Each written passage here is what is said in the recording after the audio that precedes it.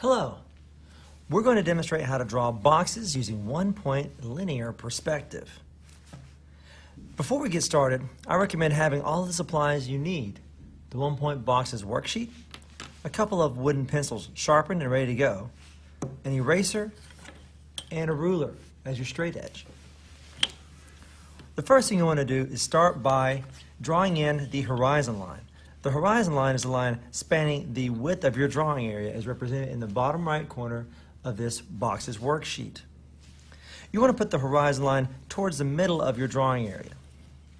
Make sure you don't just draw a straight line diagonally on your ruler. You want to make certain that you have your line as perpendicular to the sides of your drawing area as possible. The best way to do that, line your edge of your ruler up to the indicated black box. I would suggest all learners draw lightly when doing their perspective drawings, but I'm going to put a little more pressure down so the lines show up better on the screen.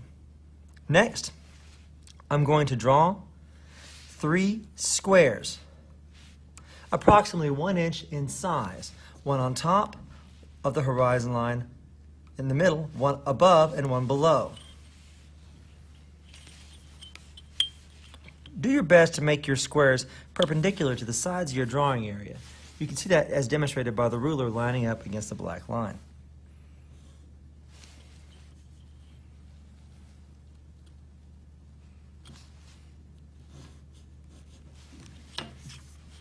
I have to reiterate, I am drawing a little bit darker so students can see the marks better on the screen.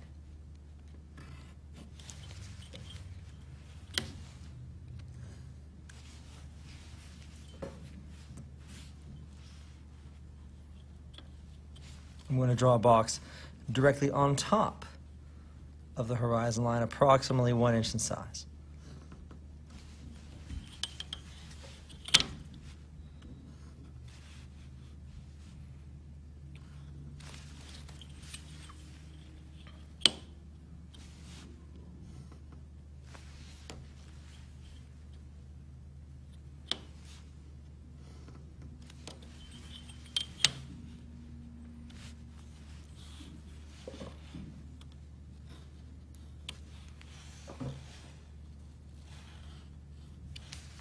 All right. So we have three one-inch squares on our drawing area. Next, we're going to assign a vanishing point. A vanishing point is where the lines that are diagonal all meet up or converge. I'm going to put mine towards the middle, as indicated with that black dot there. It doesn't have to be exactly in the middle. In fact, it doesn't have to be in the middle at all. You could put it slightly to the right, but for the sake of our exercise, I place it towards the middle. You are now lightly going to, with your ruler and wooden pencil, connect all the corners back to your vanishing point, except for the corners that would require you to draw through the squares. I'll repeat that again. Don't draw any diagonal lines if you have to draw through the squares. There are three visible corners on the top square. I'm going to connect back to my vanishing point.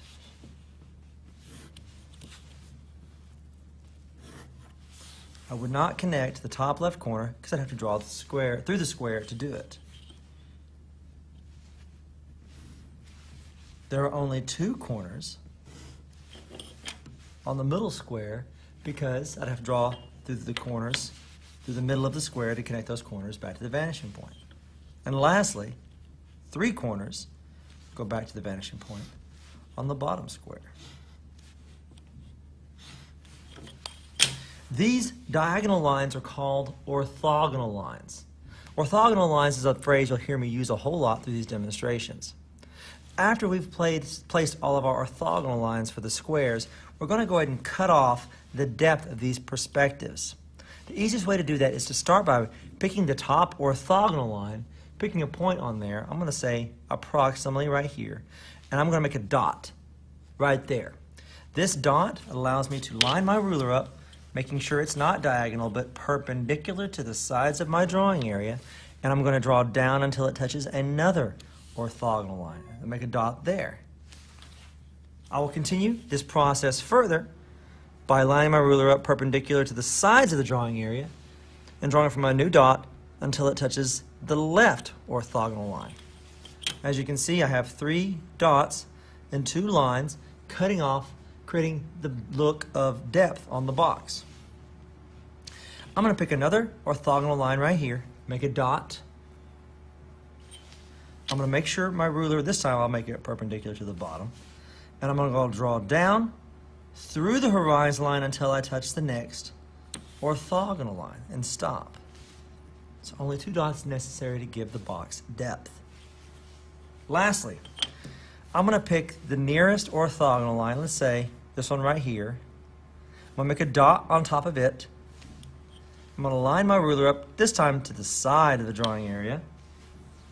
And I'm going to draw from left to right until I touch the next orthogonal line. There, I'm going to make a dot, as indicated on the screen.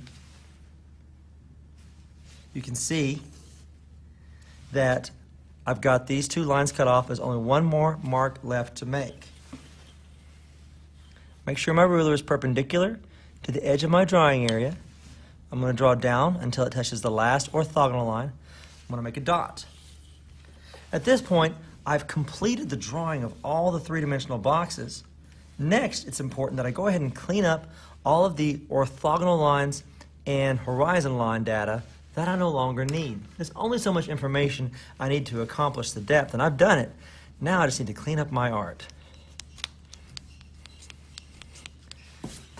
now you're going to see why I requested you guys draw lightly. It's really a mess if you draw dark to create a cleaned up perspective drawing. You can see a lot of the strokes still remaining on the image. If you did a good job, you created what we call the illusion of depth using linear perspective.